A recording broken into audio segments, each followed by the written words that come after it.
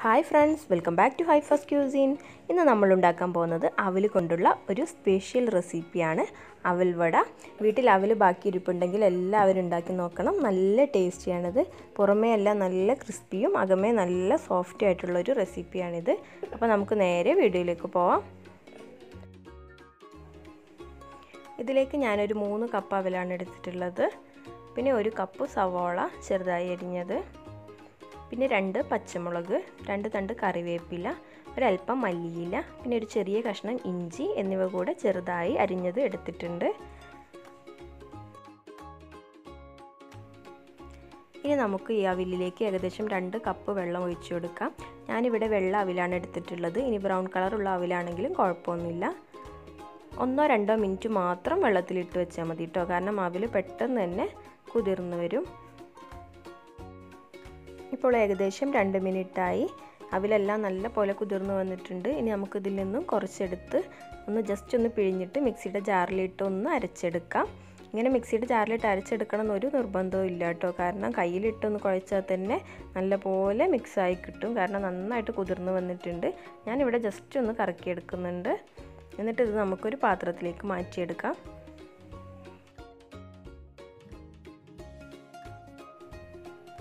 പിന്നെ അരച്ചെടുക്കുമ്പോൾ ഒട്ടും വെള്ളം ചേർക്കേണ്ട ആവശ്യമില്ല. അവയിൽ തന്നെ ആവശ്യത്തിനുള്ള വെള്ളം ഉണ്ടാവും. അപ്പോൾ ഒന്ന് അരച്ചെടുത്താൽ മാത്രം മതി.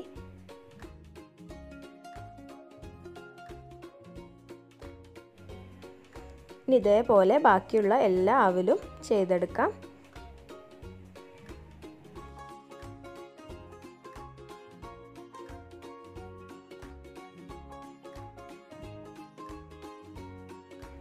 എല്ലാവരും ഇതേപോലെ അരച്ചെടുത്തിട്ടുണ്ട്. ഇനി ഇതിലേക്ക് നമുക്കൊരു അര കപ്പ് അരിപ്പൊടി കൂടെ ചേർത്ത് കൊടുക്കാം. ഇനി അരിഞ്ഞു വെച്ച ഒരു കപ്പ് സവാള കൂടെ ചേർത്ത് കൊടുക്കാം.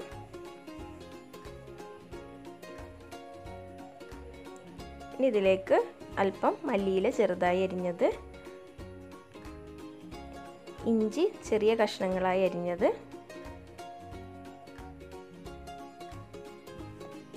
രണ്ട് പച്ചമുളക് കറിവേപ്പില ചെറുതായി അരിഞ്ഞത് ഇവ കൂടെ ചേർത്ത് കൊടുക്കാം. അടുത്തതായിട്ട് ഇതിലേക്ക് ഒരു മൂന്ന് ടേബിൾ സ്പൂൺ തൈര് ചേർത്ത് കൊടുക്കുന്നുണ്ട്. പിന്നെ ആവശ്യത്തിനുള്ള ഉപ്പ്.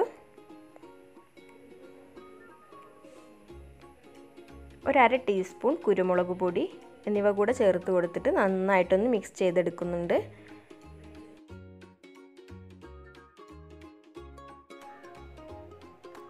ഇനി ഇതിലേക്ക് ഒരര കപ്പ് അവൽ ഡ്രൈ ആയി പൊടിച്ചെടുത്തതും കൂടെ ഒന്ന് ചേർത്ത് കൊടുക്കാം. നമ്മുടെ മാവ് കുറച്ച് ടൈറ്റ് ആയിരിക്കാൻ വേണ്ടിയിട്ടാണ് ഇങ്ങനെ ചെയ്യുന്നത്. ഇനി നിങ്ങളുടെ മാവ് കുറച്ച് ലൂസാൻ തോന്നുകയാണെങ്കിൽ ഈ അവലിന്റെ അളവ് കുറച്ച് കൂട്ടി കൊടുക്കാം. അല്ലെങ്കിൽ കുറച്ച് അരിപ്പൊടി തന്നെ ചേർത്ത് കൊടുത്താലും മതി. ഇനി നമുക്ക് കൈ ജസ്റ്റ് ഒന്ന് നനച്ച് കൊടുത്തിട്ട് ഉഴുന്നുവടയുടെ ഷേപ്പ് പോലെ ഉണ്ടാക്കിയെടുക്കാം. കൈ ഉപയോഗിച്ചിട്ട് തന്നെ നന്നായിട്ട് ഉരുട്ടിയതിന് ശേഷം വിരൽ ഉപയോഗിച്ചൊന്ന് സെന്ററിൽ പ്രസ് ചെയ്ത് കൊടുത്താൽ മതി.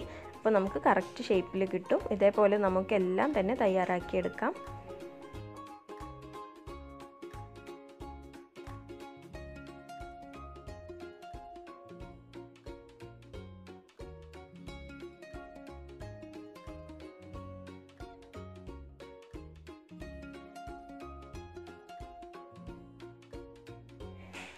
ഇനി നന്നായി ചൂടായിട്ടുള്ള ഓയിലിലിട്ട് ഫ്രൈ ചെയ്തെടുക്കാം. പിന്നെ വട ഇട്ടതിന് ശേഷം ലോ ഫ്ലെയിമിൽ ഇട്ടിട്ട് വേണം കേട്ടോ ഫ്രൈ ചെയ്തെടുക്കാൻ വേണ്ടിയിട്ട്. എന്നാലേ എല്ലായിടത്തും ഒരേപോലെ കുക്കായി കിട്ടുകയുള്ളൂ. അതൊന്ന് ശ്രദ്ധിക്കണം.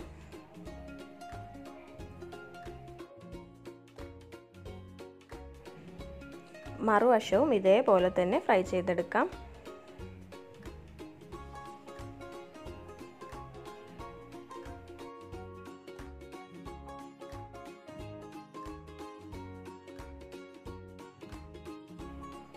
അപ്പോൾ നമ്മൾ ആദ്യം ഫ്രൈ ചെയ്തത് കുക്കായി വന്നിട്ടുണ്ട്. ഇനി നമുക്കിതൊരു ടിഷ്യൂ പേപ്പറിലേക്ക് മാറ്റാം.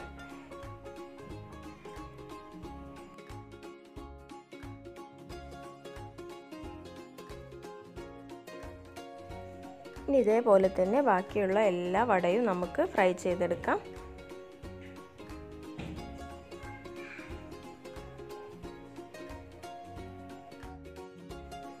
അപ്പോൾ നമ്മുടെ എല്ലാ അവൽവടയും ഇതേപോലെ ഞാൻ റെഡിയാക്കി എടുത്തിട്ടുണ്ട്.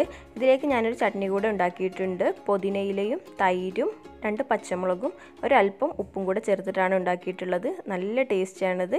ഈ അവൽവടക്ക് നല്ലൊരു കോമ്പിനേഷനാണ്. അപ്പോൾ എല്ലാവരും ഒഴിവ് കിട്ടുമ്പോൾ ഒന്ന് പരീക്ഷിച്ച് നോക്കണം. വളരെ സിമ്പിളും എന്നാൽ നല്ല ടേസ്റ്റിയുമായിട്ടുള്ളൊരു സ്നാക്കാണിത്. പിന്നെ നിങ്ങൾക്ക് എല്ലാവർക്കും എന്റെ വീഡിയോ ഇഷ്ടമായെന്ന് വിചാരിക്കുന്നു. ഇഷ്ടമായെങ്കിൽ ലൈക്ക് ചെയ്യാനും ഷെയർ ചെയ്യാനും അതേപോലെ സബ്സ്ക്രൈബ് ചെയ്യാനും കൂടെ മറക്കരുതേ.